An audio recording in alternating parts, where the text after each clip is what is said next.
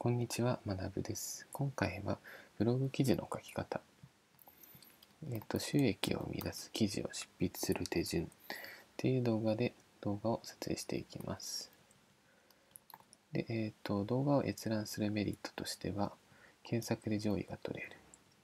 で、あとはアフィリエイトで収益が発生する。で、えっと、想定している閲覧者としては、すでにアフィリエイトの基礎がわかる方。で次に、すでにサイトを運営している方。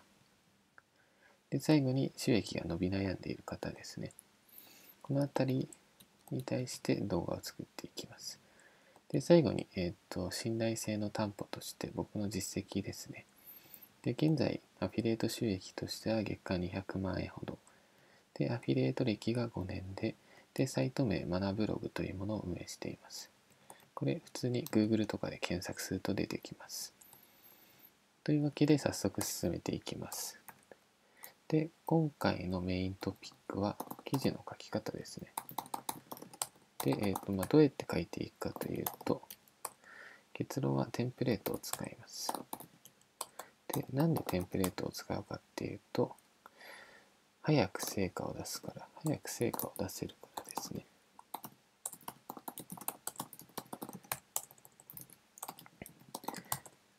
もちろんその完全オリジナルで記事を作っていってもいいんですけど慣れない初心者のうちはテンプレートを使ってでまずは型に沿って訓練していく感じですね。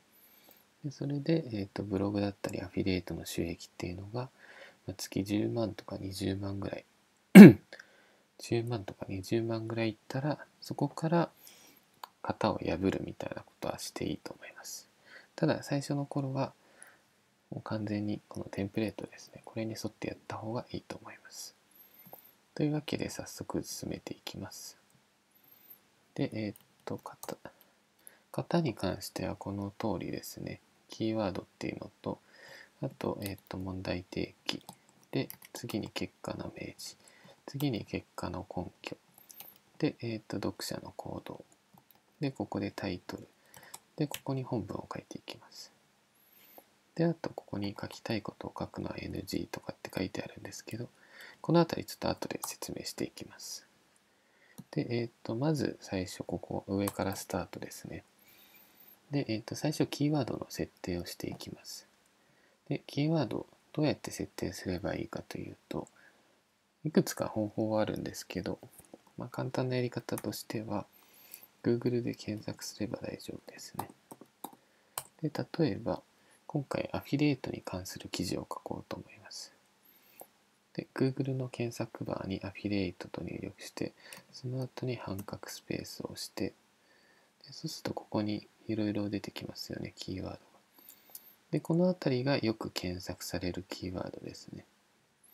で、今回は、え、っ、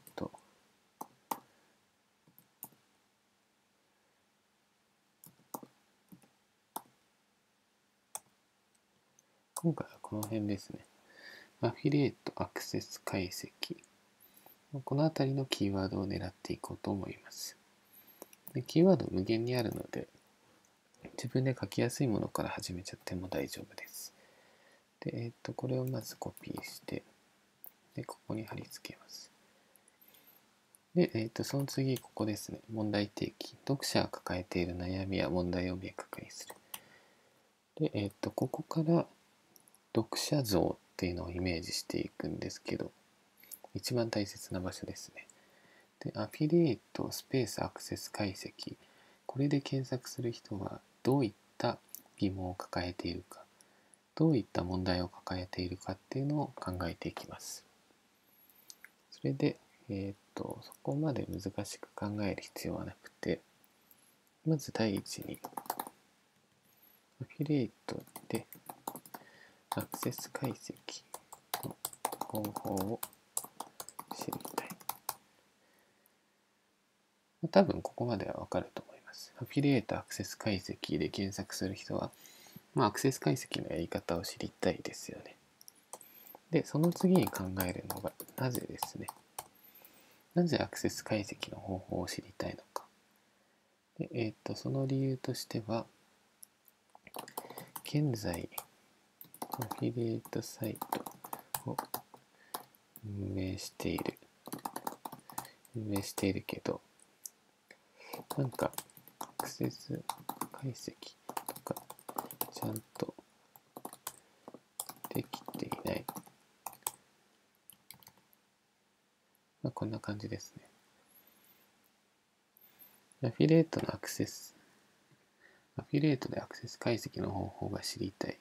で、なんで知りたいかっていうと、現在アフィリエイトサイトを運営しているけど、なんかアクセス解析とかちゃんとできてないみたいな。こういった感じですね。で、さらにっていうのを考えた方がよくて、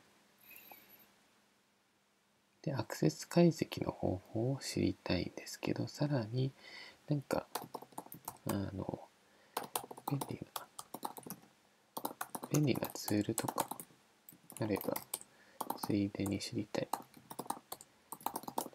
こんな感じですね。これがも問題提起になります。こんな感じでいいかな。アフィリエイトでアクセス解析の方法を知りたい。現在アフィリエイトサイトを運営しているけど、なんかアクセス解析、解説になってますね。解析です。なんかアクセス解析とかちゃんとできてない。あと、なんか便利なツールとかあればついでに知りたいな、みたいな。これが、えっ、ー、と、想定読書ですね。で、その次、結果の明示。あなたの記事を読むとどうなるのか。で、まず第一に、アフィリエイトのアクセス解析方法がわかる。これが一つ目です。で、その次に、アフィリエイトのアクセス解析に便利なツールがわかる。こんな感じですかね。で、アフィリエイト解析方法を知りたい。ここですね。アクセス解析方法が知りたい。ここは、ここで答えてます。で、あと、便利なツールとかあれば、ついでに知りたい。で、これが、ここですね。ここで答えてます。こんな感じで、この順番通りに考えていくのが大切です。で、その次、結果の根拠ですね。この記事を読むことで、アフィリエイトのアクセス解析方法がわかる。アフィリエイトのアクセス解析に便利なツールがわかる。で、いいんですけど、じゃあなんでこの記事が本当に信頼できるのかっていうところですね。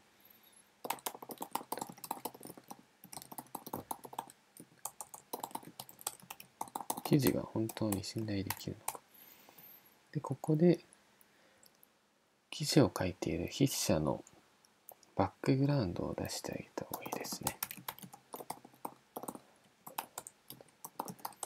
例えば僕の場合だと、アフィリエイト歴5年ですね。で、あとアフィリエイトの収益が、えっ、ー、と、月100万円。こんな感じですね。で、この2つのデータがあれば、まあ、割と信頼性が保たれるみたいな。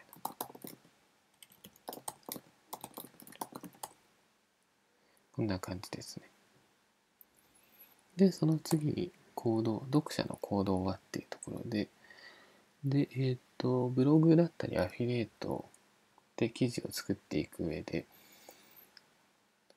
なんでやるかって言ったら、まあ、シンプルにお金を稼ぎたいからですよね。で、その際に、記事から商品を販売する必要があるんですけど、記事から。で、じゃあ何を売るかっていうと、今回の場合はツールですね。ツールを販売する。で、このツールっていうのは、あの、GRC とかっていうツールとか、ランク、ラッカー、こんな感じですね。こういったツールがあって、で、これを売ることで収益を得ることができます。でタイトル、ここは後からでもいいんですけど、例えばアフィリエイトの、えっとで、アフィリエイトサイトで、うん、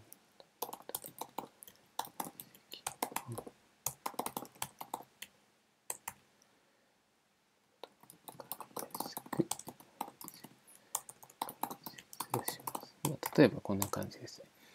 アフィリエイトのアクセス解析方法、わかりやすく解説しますみたいな。タイトルはなるべくキャッチーな感じにした方がいいです。